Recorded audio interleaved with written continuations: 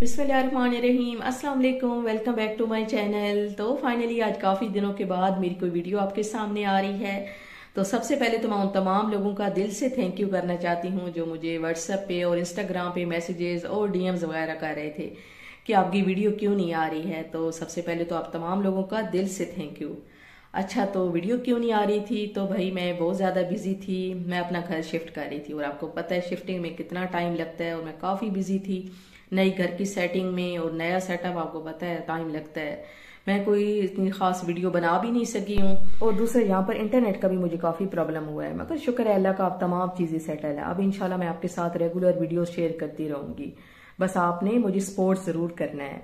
आज तो मैंने सोचा एक छोटा सा ब्लॉग आपके साथ शेयर कर देती हूँ, अपनी अपडेट भी दे देती हूँ कि मैं कहाँ बिज़ी हूँ। और दूसरा मैंने जो अभी ग्यारह ग्यारह पे सेल लगी है ना, उस पर थोड़ी सी शॉपिंग भी की है। कुछ चीज़ें मेरी आ गई हैं तो मैंने सोचा आपके साथ शेयर भी कर देती हूँ।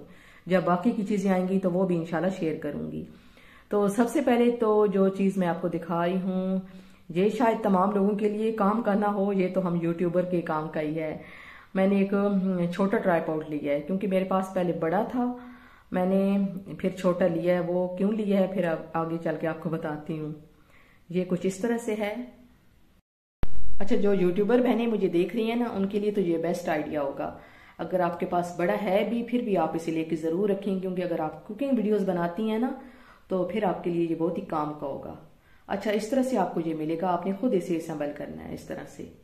अच्छा अभी मैं आपको रख के बताती हूँ किचन में आपने किस तरह से इसे यूज़ करना है। आप इस तरह से रखेंगे ऊपर, आप मोबाइल लगाएँ कैमरा लगाएँ और फिर वीडियो बनाएँ। इससे इनशाला आपकी वीडियो क्वालिटी जो होगी ना, वो बड़ी ज़बरदस्त होगी। तो आप इसे लेके ज़रूर रखें अगर आप वीडियोस बनाती हैं तो। अच्छा जो दूसरी चीज़ ली है, ये मैंने ली है टूथपेस्ट डिस्पेंसर ये तो मुझे बहुत ही काम की चीज़ लगी है ना। मैं काफ़ी दिनों से इसे ढूंढ रही थी, मगर मुझे यहाँ से तो नहीं मिली, मगर शुक्र है, दराज से मुझे मिल गई है।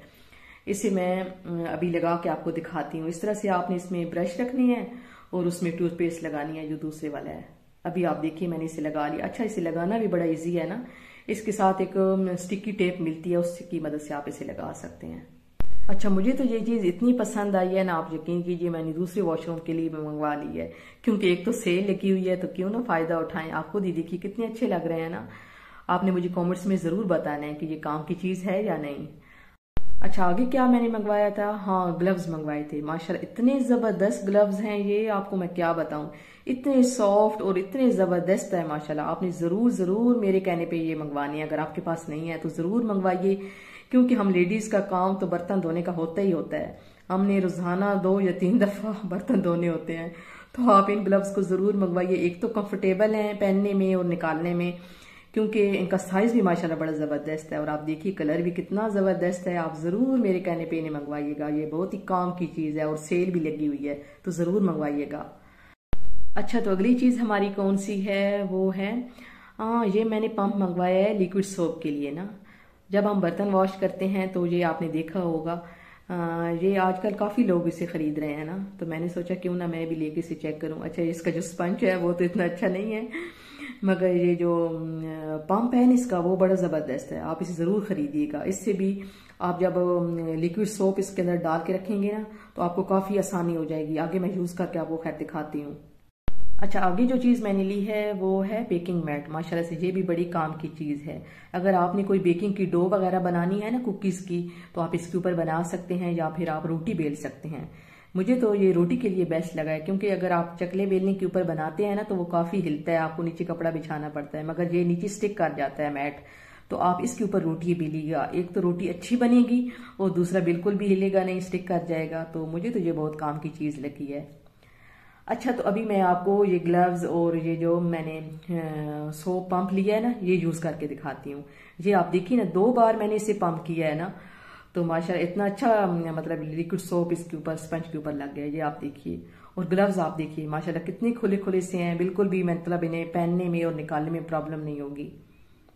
जो नॉर्मल ग्लव्स हम लेते हैं ना वॉशिंग के लिए तो अक्सर प्रॉब्लम होती है उन्हें पहनने में और निकालने में। मगर मुझे ये बड़े कंफर्टेबल लगे हैं, बहुत सॉफ्ट हैं, बहुत ज़बरदस्त हैं। तो ज़रूर आप लीजिएगा। अभी मेरी थोड़ी सी और चीज़ें भी रहती हैं जो मैंने मंगवाई हुई हैं। अभी तक मुझे मिली नहीं है। जब मिलेंगी तो इनशाला आपके साथ शेयर भी करूँगी और आपको रिव्यू भी दूँगी कि ये चीज़ें आपको लेनी चाहिए या नहीं। तो इनशाला आपको ज़रूर बताऊँगी।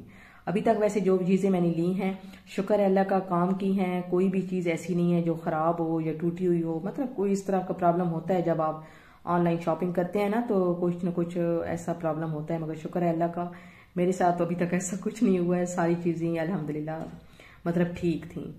तो आप भी मुझे बताइएगा आपको इनमें से कौन सी चीज़ काम की लगी है, आपको मेरी शॉपिंग कैसी लगी है। इनशाला जब सारी चीज़ें आ जाएँगी ना तो वो भी आपके साथ ज़रूर शेयर करूँगी।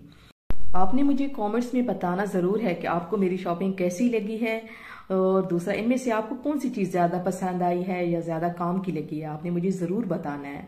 और दूसरा, आपने कौन कौन सी शॉपिंग की है, क्योंकि सेल लगी हुई थी, अक्सर लोग इसमें बहुत ज़्यादा शॉपिंग करते हैं तो आप भी मुझे ज़रूर बताइएगा कि आपने क्या ख़रीदा है। खैर अल्हम्दुलिल्लाह माशाल्लाह से मेरी किचन की तो क्लीनिंग हो चुकी है। अभी मैंने किचन और डाइनिंग एरिया की तो आ, मतलब कुछ ना कुछ सेटिंग कर ली है। आगे चल के भी जो मेरे थोड़े बहुत काम रहते हैं वो भी इंशाल्लाह कंप्लीट करती हूँ और फिर रेगुलर आपके साथ वीडियो शेयर करूँगी। वैसे आप मुझे बताइएगा कि आप मेरे इस तरह के व्लॉग देखना चाहते हैं या फिर कुकिंग वीडियोज़ ही देखना चाहते हैं। आपने मुझे कॉमेंट्स में ज़रूर बताना है। है जी मेरा डाइनिंग एरिया है इसकी मैंने इस तरह से सेटिंग की है। आप मुझे बताइएगा कि ये सेटिंग ठीक है या नहीं? अगर आप चाहते हैं कि मैं कुछ चेंजेस करूँ तो मुझे आप गाइड ज़रूर कीजिएगा। ये मेरा मोस्ट फेवरेट एरिया है, क्योंकि सारा दिन मेरा यहाँ पर ही गुजरता है। इधर ही बैठ के मैंने एडिटिंग करनी होती है वॉइस ओवर वगैरह करना होता है, और फिर खाना बनाना, यहाँ पर ही बैठ के सबने मिल के खाना। मतलब मेरा ये मोस्ट फेवरेट एरिया है। आप मुझे ज़रूर बताइएगा कि मुझे अगर इसमें से कुछ चेंजेस करनी है तो कौन सी करूँ, क्या करूँ? अच्छा यहाँ विंडो के पास मैंने एक प्लांट रखा है जो मेरा मोस्ट फेवरेट है। आपको पता ही होगा, ये एयर प्योरीफायर प्लांट है। इसको तो आप अपने डाइनिंग एरिया में या लिविंग एरिया में या बेडरूम में किसी भी जगह ज़रूर रखिएगा, क्योंकि आपको पता है ये आपकी जो इर्द गिर्द हवा होती है, उसके अंदर कोई भी जर्म्स वगैरह हो तो इन्हें किल करता है। तो आप अपने लिविंग एरिया में बेडरूम में किसी भी जगह ज़रूर रखिएगा, क्योंकि इनडोर प्लांट है ये। और दूसरा, इसके अलावा भी मैंने एक प्लांट लिया है, उसके बारे में भी मैंने आपसे बात करनी थी क्योंकि इसी इसकी केयर करने में मुझे थोड़ी सी प्रॉब्लम हो रही है। इसकी केयर का मुझे कुछ पता ही नहीं है। है तो ये इंडोर प्लांट ना पाम लिली आ, मगर इसकी मैं किस तरह से ज़्यादा अच्छी देखभाल कर सकती हूँ? प्लीज़ मुझे अगर किसी को पता है तो ज़रूर गाइड कीजिएगा। मैंने गूगल खुद किया है मगर कुछ खैर मुझे समझ नहीं आई है कि मैं क्या करूँ कैसे करूँ। ये तो पता है कि दो से तीन दिन बाद इसे पानी देना है। और इंडोर प्लांट इसके अलावा मुझे और कुछ नहीं पता। प्लीज़ अगर किसी को पता है तो ज़रूर बताइएगा। खैर, आज के लिए बस इतना ही। मैंने आपके साथ घर की जो थोड़ी बहुत सेटिंग शेयर की है, आपको कैसी लगी है? अगर पसंद आई है तो वीडियो को लाइक भी ज़रूर करें और फिर मुझे गाइड भी ज़रूर करें।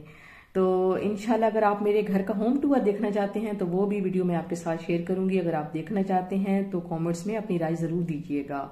आज के लिए बस इतना ही। इनशाला फिर एक इसी तरह के वीडियो या ब्लॉग के साथ आपसे मिलूँगी।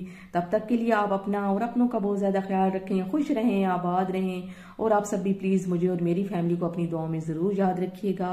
अल्लाह ताला हम सब का हामी नासिर हो। अल्लाह ताला हम सबको दुनिया और आखरत की तमाम जायज़ नियमतों से नवाज़ दे और हम सब के गुनाहों को माफ़ करे और हम सब के लिए आसानियाँ पैदा करे। आमीन सुम आमीन। थैंक्स फॉर वॉचिंग अल्लाह हाफिज।